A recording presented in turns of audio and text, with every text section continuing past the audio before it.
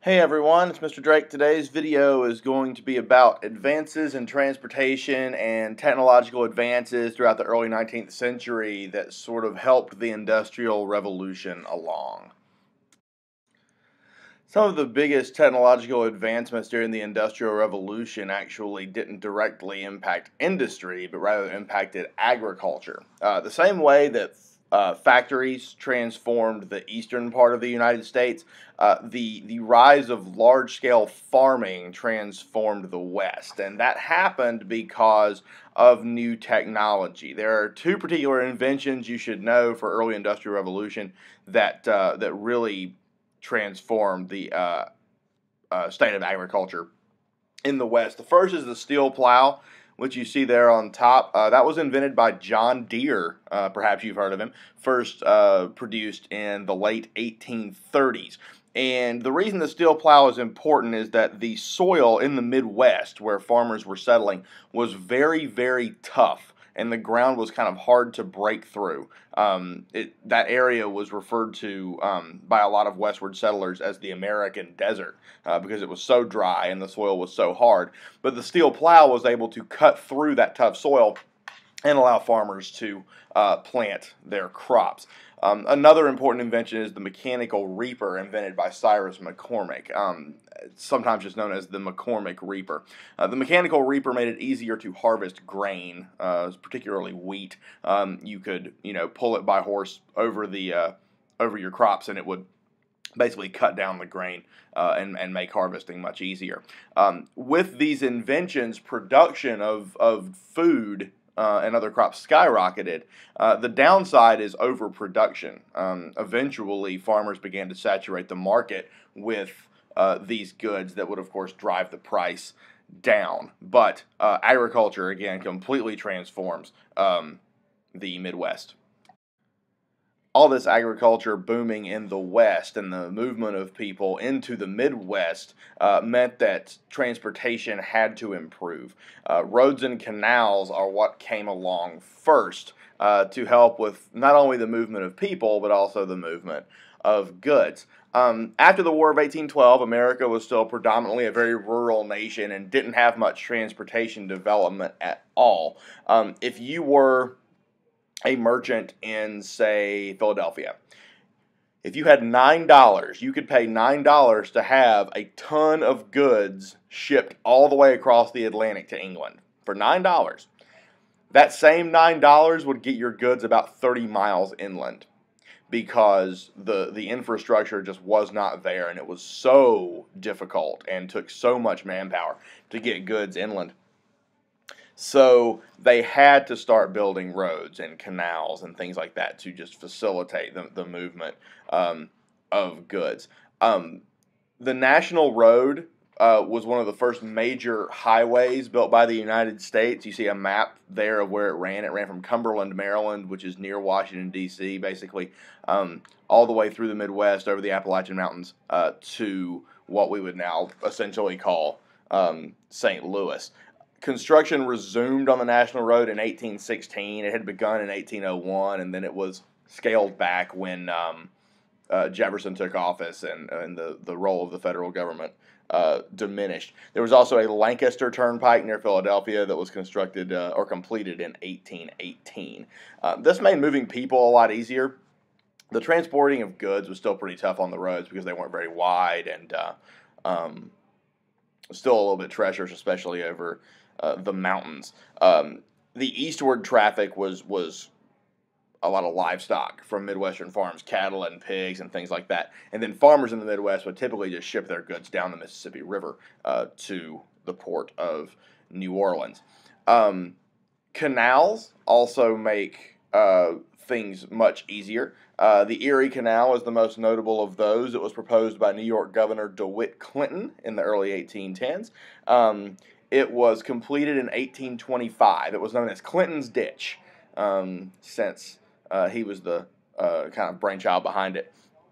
Uh, the most important thing about the uh, Erie Canal, which you see a map of it there, is it connects um, the Great Lakes to the Hudson River. So as a result, um, you no longer have to ship goods all the way over land. You could almost ship things by exclusively by water from the Great Lakes, you know, all the way down to the port of New York. And this helped New York overcome Philadelphia as being uh, the main port on the eastern seaboard. And steamboats are also um, a, a, big part of why canals became important. The steamboat was invented by Robert Fulton in 1807. Um, it could travel upstream, obviously, um, and that makes transportation of goods out of the west um, much easier as well. Um, the Erie Canal also has an uh, impact on peopling, uh, who lives in what areas. Uh, it was built primarily by Irish immigrants, so it transformed the uh, the area that it went through and led to a large uh, influx of the Irish uh, into upstate New York. By about 1840, there were about 3,300 miles of canals in the United States. So um, most of these are on the eastern seaboard.